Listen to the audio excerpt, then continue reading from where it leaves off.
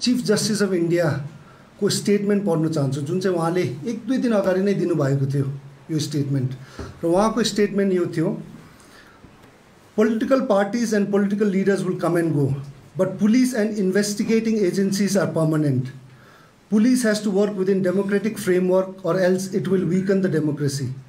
Public will lose trust and police will lose its credibility. यो chief justice of in of इन्डियाले यो दुई तिन दिन अगाडि नै दिनुभएको र यो सारा इन्डिया इन्भेस्टिगेसन एजेन्सिज र पुलिस फोर्स अल अक्रस इन्डियालाई इन्क्लुडिङ सिक्किम पुलिस फोर्सलाई पनि यो भनेको र इनफ्याक्ट एक हप्ता अगाडि मैले दिल्लीमा वुमेन कमिसन अफ इन्डियाकोदेखि मलाई बोलाएको थियो र एउटा सेमिनारमा बोल्नुको लागि। र यो seminar radical racial discrimination sensitization गर्नु लागि नर्थ इस्टको मे rest of India main stream इन्डियासँग त्यसमा पनि इनफ्याक्ट हाम्रो सिक्किमकै वुमेन कमिसनको टिम टोली हुनुहुन्थ्यो एसकेएमकै नारी शक्तिको टिम साथसाथै चेयरम्यान नेसनल वुमेन कमिसन पनि हुनुहुन्थ्यो minister of state external affair हुनुहुन्थ्यो र दिल्ली पुलिसको पनि धेरै ठुलो पुलिस अफिसर्सहरू त्यो सेमिनारमा थियो। र मलाई मैले त्यो सेमिनारमा दिल्ली पुलिसकोहरूलाई यही भने कि जब नर्थ इस्टको इन्क्लुडिङ सिक्किमको जुनै व्यक्तिहरूलाई दिल्लीमा अन्याय हुन्छ अत्याचार हुन्छ इन्जस्टिस हुन्छ दिल्ली पुलिसले तुरन्त एफआइआर रेजिस्टर गरेर त्यसलाई इन्भेस्टिगेट गरेर कल्प्रिटलाई ठुलोभन्दा ठुलो सजा दिनुपर्छ भनेर मैले रिक्वेस्ट गरेँ र यो आज सिक्किमको जुनै पोलिटिकल पार्टिज होस् चाहे एसकेएम एसडिएफ बिजेपी हाम्रो सिक्किम त्यो सबैले त्यही चाहन्छ कि सिक्किमको कुनै व्यक्तिलाई पनि त्यो भयो भने दिल्लीमा दिल्ली पुलिसले हामीलाई न्याय दिनुपर्छ चाहे त्यो व्यक्ति कुनै पार्टीको होस् सिक्किमको। र जब हामीले दिल्ली पुलिसहरूलाई मैले रिक्वेस्ट गर्दैछु उहाँलाई प्रेसर गर्दैछु र म आफै सिक्किममा आउँदाखेरि सिक्किम पुलिसको हेर्दाखेरि अहिलेको अवस्थामा र यो मैले मात्रै भनेको होइन चिफ जस्टिस अफ इन्डियाले नै भन्दैछ सारा पुलिस फोर्सलाई कि public and people are losing trust र त्यसले गर्दा म जहाँ जान्छु इन्डियाको धेरै धेरै जग्गाहरूमा जान्छु ठुल्ठुलो सेमिनार्सहरूमा म बोल्छु र धेरैजनाले भन्छ मेरो साथीहरूले कि सिक्किम यति राम्रो छ यति पिसफुल छ। र म जहिलेसुकै भन्छु Sikkim one of the reason एउटा रिजन चाहिँ is because of we have great police department तर अहिलेको हालमा जुन सिक्किम पुलिसको जुन चाहिँ हामी सिक्किमे जनताले देखिरहेको छ अहिले हामीले ट्रस्ट हराइसकेको छ सिक्किम पुलिससँग स्पेसली लास्ट एक दुई सालदेखि। कुनै इस्युजहरू अपोजिसन पार्टी स्पेसली पोलिटिकल इस्युजहरू अपोजिसन पार्टिजहरूले कम्प्लेन गर्छ रेजिस्टर गर्छ कुनै केस सल्भ भएको छैन। इनफ्याक्ट पुलिसकै अगाडि नै अत्याचार भइरहेको छ। अस्तिको दिन एसेम्ब्ली सेसनमा डिसी कोर्टको अगाडि जुन एउटा भाइलाई ग्रुप आएर एसकेएम पार्टीको होस् कि कहाँको केटाहरू आइरहेको त्यो पुलिसकै अगाडि हिर्काइरहेको छ। पुलिसको एक्सनै छैन। पेन्डेमिकको टाइममा यदि तपाईँले याद गर्नुभयो भने सेक्सन वान फोर्टी फोर लागिरहेको छ। ग्यादरिङ हुँदैन। नाम्चीको खुले बजारमा ग्रुप एसकेएम नारी आएर एसकेएम पार्टीले बिचरा उहाँहरूलाई पनि पाँच सौ हजार रुपियाँ दिएर आएर पुत्ला जलाउने काम पनि गरिरहेको छ। पुलिस अगाडि नै छ। तपाईँले भिडियोहरूमा पनि देख्नुहुन्छ। डे लाइटमै हाम्रो एसडिएफ पार्टीको डि जेबी धर्नाजुको एट्याक भयो। त्यसमा पनि अझैसम्म केही इस्यु छैन। र अपोजिसन पार्टिजले जब केसहरू गर्दैछ यो गर्दैछ कुनै एक्सन पुलिसको लिएको छैन र पोजिसनले गर्दा त एनी हाउ पक्रिहाल्दैछ।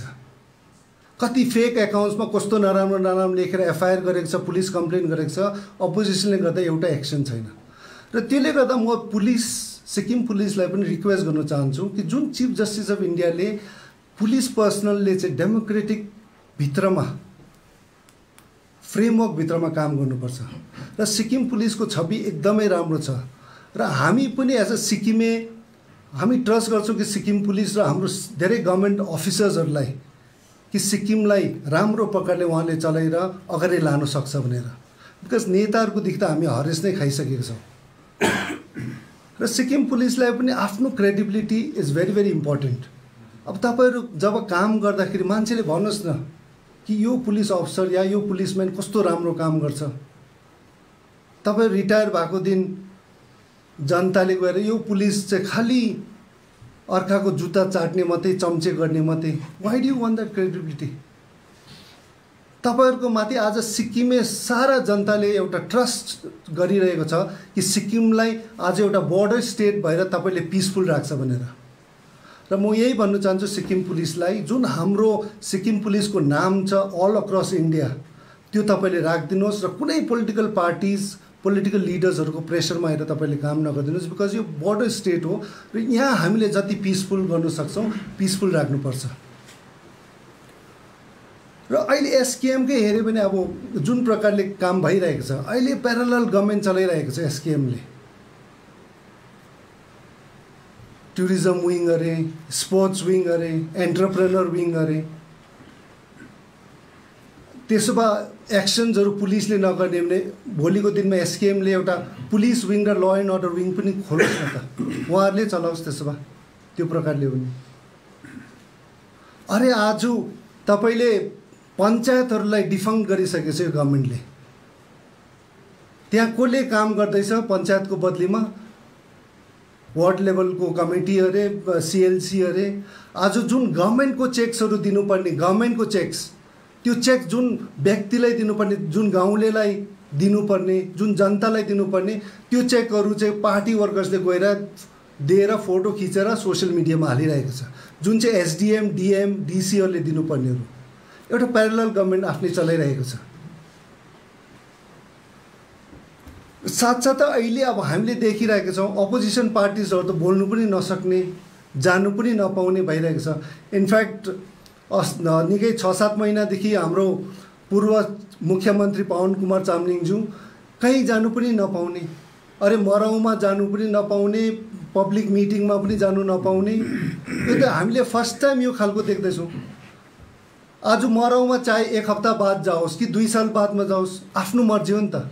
सोध्नुपर्ने एसकेएम गभर्मेन्ट र एसकेएमको पार्टीलाई कि हामी जानु पाउँछ मराउमा दुई साल बादमा? अरे यो डेमोक्रेटिक स्टेट हो।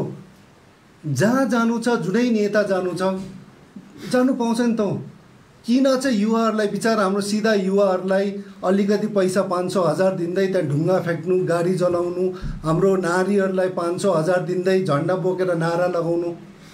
एसकेएम पार्टीलाई म यही रिक्वेस्ट गर्नु चाहन्छु त्यो गर्नु पर्दैन तपाईँहरूले। आफ्नो गभर्नेन्समाथि अलिकति ध्यान दिनुहोस् सिक्किमलाई विकास गर्ने।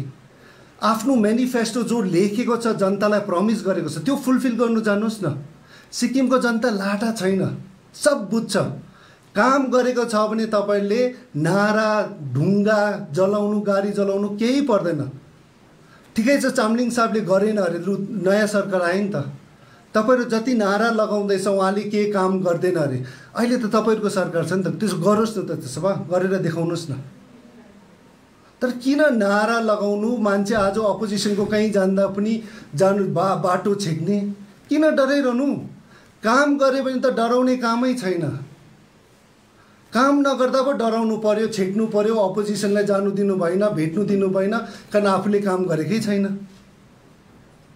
र अझै पनि दुई साल समय छ काम गर्नुहोस् अपोजिसन पार्टीलाई जहाँ मिटिङ छ जे छ मराउमा जानु छ चाहे अहिले जाओस् दुई सालको बादमा जाओस् तपाईँ रोक्ने कामै नगर्नुहोस् काम छ भने सिक्किमे जनतालाई चौबिसमा तपाईँलाई भोट दिन्छ।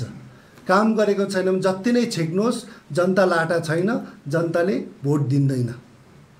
र यो नसोच्नु कि तपाईँले गाडी जलाएर ढुङ्गा फ्याँकेर चाहिँ अपोजिसनलाई तर्साएर चाहिँ भोट जित्छ चाहिँ कहिले नसोच्नु सिक्किमको राजनीतिमा हुँदैन पनि। र त्यो विकास गर्नुपर्छ तपाईँहरूले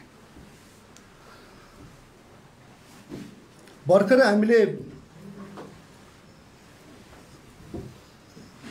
जुन चाहिँ भाइलाई एट्याक भयो डिसी कोर्टको अगाडि उहाँ पनि त एउटा सरी सरदार थानाको अगाडि। उहाँ पनि एउटा सिक्किमकै छोरा हो। कोही दाजु कोही कसैको दाजु कसैको भाइ तर सिक्किमे हो नि त। तर नेताहरूले चाहिँ आज युवाहरूलाई चाहिँ यति साह्रो पोइजन हालेर माइन्डमा एकअर्कामा लडाउँदैछ। अब त्यो भाइ अहिले जुन भाइ उहाँ चोट लागेको छ अहिले आइसियुमा सिलगढीमा उहाँको उयो ट्रिटमेन्ट चल्दैछ। भोलिको दिनमा अब त्यो जतिजना हिर्काउनेहरूको माथि कहिले केस रेजिस्टर गर्छ एफआइआर गर्छ एटेम्प टु मर्डर लगाउँला। भोलिको दिनमा चाहिँ केही बिचरा त्यो भाइ हामी त चाहन्छौँ कि उहाँ ठिक जल्दी जा जाति भओस् हामी प्रे गर्छौँ।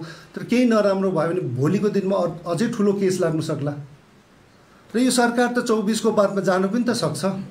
नयाँ सरकार आउँछ पार्टिजहरू बस्छ जान्छ। त्यसको बादमा को मर्छ? त्यही युवाहरू जो चाहिँ हजार रुपियाँ खाएर त्यो हिर्काउने ढुङ्गा फ्याँक्ने गाडी चलाउने उनीहरूको माथि केस लाग्छ। नयाँ सरकार आउँछ। सालभरि सालभरि उहाँहरूको लाइफ कोर्ट जाउँ धाउँदा पैसा निकाल्दा त्यो गर्दा नै लाइफ जान्छ। र त्यसले गर्दा म सिक्किमको युवाहरूलाई भन्न चाहन्छु प्लिज तपाईँहरू यो रङ नेताहरू जो जसले इन्फ्लुएन्स गर्दैछ तपाईँहरूको माथि don't get influence by this wrong activities. म हात जोडेर भन्छ हामीले सिक्किम बनाउँ न युवाहरूलाई नारीहरूलाई हामीले लिडर्स बनाउँ न किन जहिले मात्रै ढुङ्गा फ्याँक्ने मात्रै? अहिले विराज सरले भनेको जस्तो पहिला पनि गऱ्यो अरे ठिकै छ। तर यो परिवर्तन आयो भने त पहिलाकोले एउटा गाडी जलाए तपाईँले तिनवटा जल जलाउने? मैले एसकेएम पार्टीको एक दुईजना लिडरले सुनेर हामीलाई पनि पहिला एसडिएफ सरकारमा भयो भयो होला नि त ठिकै छ नभए भा भएको छैन भन्दैछ। तर त्यही कारणले त परिवर्तन चाहेको।